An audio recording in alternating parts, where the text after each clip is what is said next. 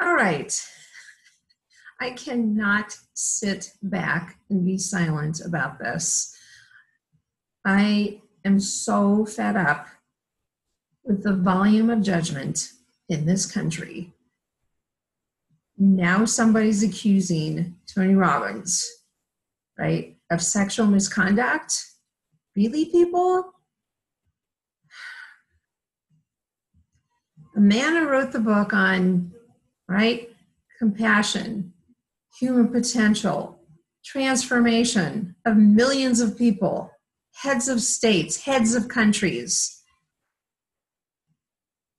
This is really sad, everyone. I cannot say enough about this atrocious behavior in the media, right? Um, and others that are out there perpetuating this act of judgmental behavior. It's like cancer in our society, and it really has to be stopped. And it's time to take action. You got to ask yourself are you adding to the judgment, right? The problem in the country, or are you being a part of the solution? Here's mine, right? I'm not going to just stand up here and preach. I'm going to give you, as a success coach, as a spiritual coach, as a life coach, as someone who friggin' cares about humanity, and some of us, including myself, cleaning up our act, cleaning up our judgment, and that is this. If you don't run to Amazon on your laptops, on your phones, and don't buy this book, well, all I can say is please, please, and I'm going to talk about this in, in just a minute, please get this book. Judgment Detox is a complete life changing right?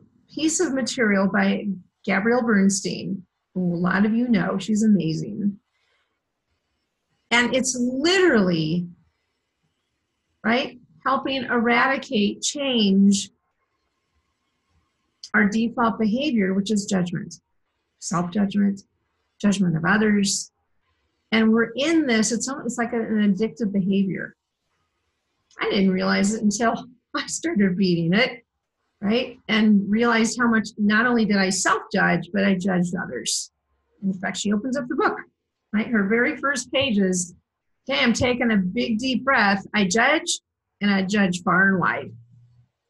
Therein lies the reason for the book because of the divisiveness, excuse me, the divisiveness in this country and how we as human beings must start changing our own behaviors, right? And ha- what the book is really about is not only recognizing when you're in judgmental behavior about yourself or others, but to be able to choose differently. And what this is based on is the Course of Miracles, which is a spiritually based piece of work. And you choose love, faith, trust, gratitude, acceptance, respect, cooperation, collaboration, instead of judgment which is ego, which is separation, right? It's kind of no fault of anybody's.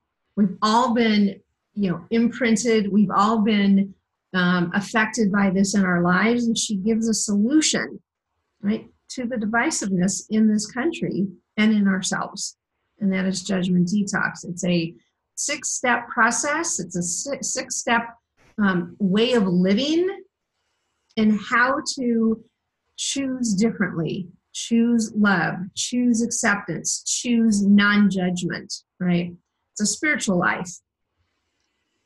Listen, our ego, right? Our egos are never going to go away, but we can learn, right? Tools and practices and how to stop the judgment while you're in it and be able to choose differently, which is love, which is acceptance, which is caring.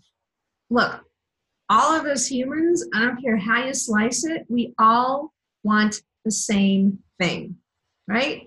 We all want, again, love. We want connection. We want acceptance. We want respect, right? None of us are different. But unfortunately, and I bless anyone that's had any sort of challenging experience in their life, and God knows I have This is a tool. This is a, a literally a healing tool to judgment and how you operate in life. Right? And so what happens is we, just like what's happening with this whole Tony Robbins thing, is that we unconsciously go right to judgment and we perpetuate it by what we talk about, what we spread as far as info, what we stand for, is that we're in this place of judgment. Right? So my solution is this not only learning her six steps, but practicing it, right?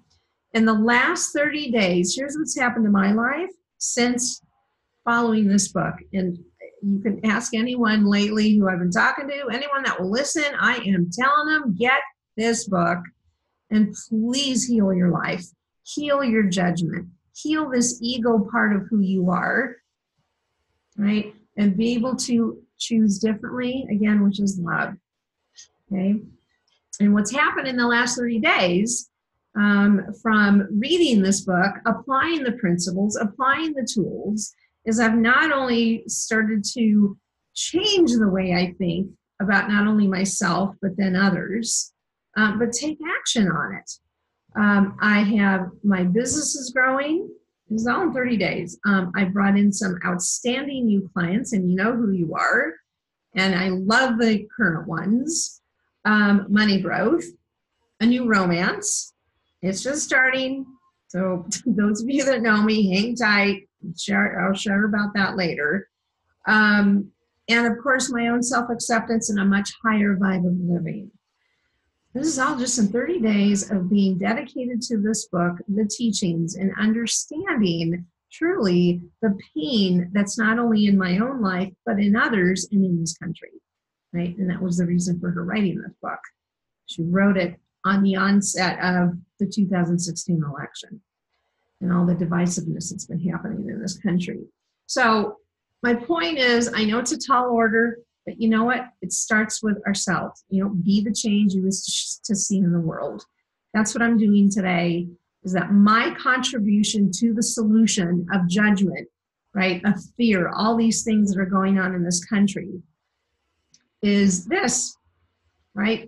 Besides the work I do in the world, but pick up this book, listen to the audio, read the Kindle version, whatever, right? But please start healing your judgments and pass it on to those you love because we all want to be part of the solution, right? Not the problem, right? Again, judgment detox. Gabby Bernstein rocks, it will rock your world and it will change it for good.